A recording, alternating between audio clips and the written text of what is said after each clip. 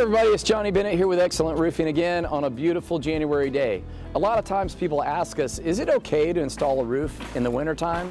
And I would say, absolutely yes. What we do is we try to work around Mother Nature.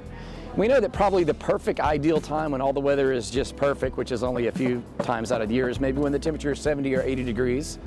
But as long as we're roofing in temperatures that are about 40 degrees and higher, it's actually very, very possible to roof a house in the wintertime. It's usually in the wintertime that we do get a lot of snow and a lot of rain and a lot of things that make the weather kind of miserable, where it sort of pushes us in a situation where we actually have to replace the roof and we really don't have a lot of option.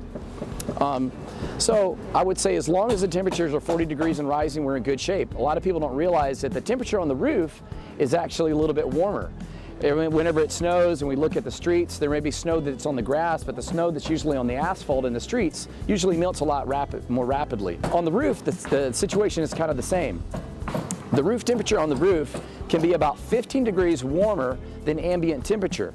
The asphalt shingles actually absorb the heat from the sun and they make the shingles really pliable. So we do get a little flexibility from that and it warms us up while we're actually working on the roof and it actually is quite comfortable. Sometimes it's a little bit better to be, you know, not sweating all the time, but um, just kind of mildly comfortable.